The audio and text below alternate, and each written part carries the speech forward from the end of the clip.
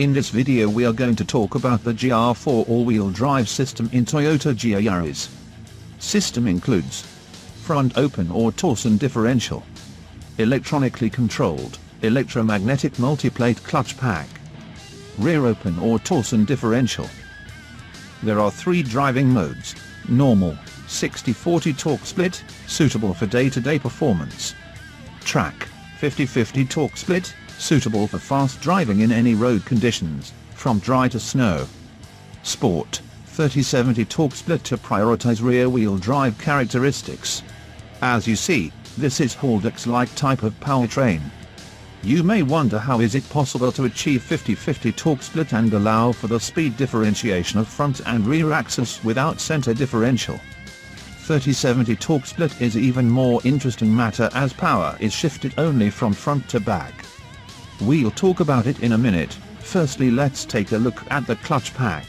It is called ITCC, Intelligent Torque Controlled Coupling, supplied by JTEKT. You may find it in other Toyota models too. Clutch is coated with DLC, diamond-like carbon. Amorphous carbon film contributes to reducing size and increasing service life.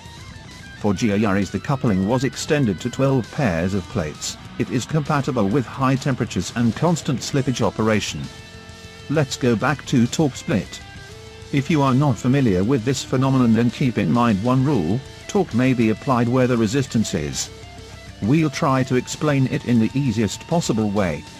The trickery of GR4 all-wheel drive system is that rear differential is geared 1% faster than the front. Slightly different gear ratios allow for greater drive force to be directed to the rear wheels even when there is no slip at the front wheels. Let's see what is going on in each mode. In normal mode clutch pack is just partly compressed what results in 60-40 torque split. Front and rear wheels are rotating at the same speeds but front and rear plates in the coupling are rotating at different speeds due to mentioned gear ratio difference.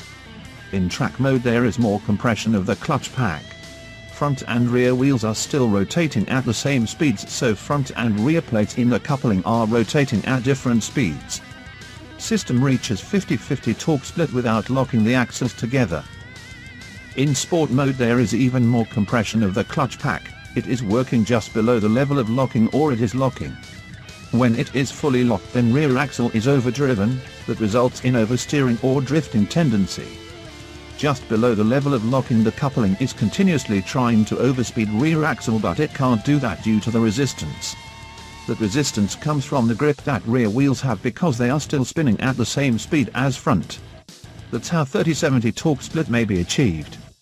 In each mode, the torque balance is automatically adjusted in response to the driver's inputs, vehicle behavior and road or track conditions. Thank you for watching.